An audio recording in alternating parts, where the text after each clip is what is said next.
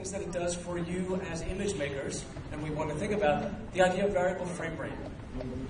So, whatever product you pick up and you're telling stories, one of the really seductive aspects of motion picture, especially people coming from still that they really fall in love with, and we all fall in love with, is the idea of slow motion. So, in this particular case, uh, this camera, the little one.